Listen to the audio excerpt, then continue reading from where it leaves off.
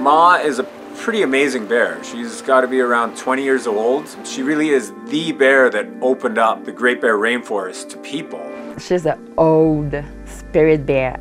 That's her creek and everybody respect her and we hear about her before going on that creek, hoping we're gonna see her. There's very few bears that can actually walk on top of you and you don't feel scared around her. She just carries that energy of the rainforest with her and you just really feel calm when she's in the river in front of you. And knowing that her claws are going to touch my shoulder and not being scared is just a crazy amazing feeling.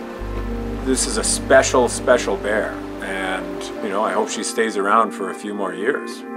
Warrior definitely carries a different kind of spirit. Like you can feel the warriors that she's got that real attitude to become a number one bear and she's trying to kind of show Ma'ah that, you know, like she's there and she's present and she might want to try to get the best fishing spot.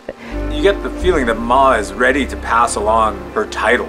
The warrior still needs to step it up a notch. It's just like really two two different styles. You know, warrior is, a more aggressive bear. Ma'ah just kind of rules through her calmness, and um, it was a real honor to witness that little confrontation.